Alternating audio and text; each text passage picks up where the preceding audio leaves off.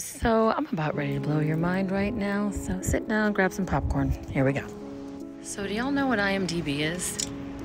IMDb stands for the International Movie Database. It's basically what you need to have as an actor, performer, host, TV star, movie star, comedian, anybody in the entertainment business. Uh, so I'm going to show you this right here. Those are three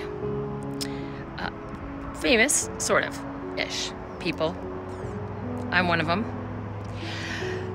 I would just like you to, in the comments, tell me what one of those three is the legit actress.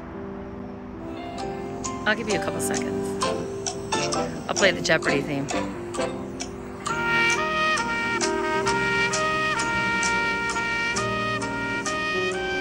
Okay, if you haven't guessed, all of us, you actually need to have an IMDb, which proves you have been in a movie, on a TV show, or something that is considered fictional entertainment.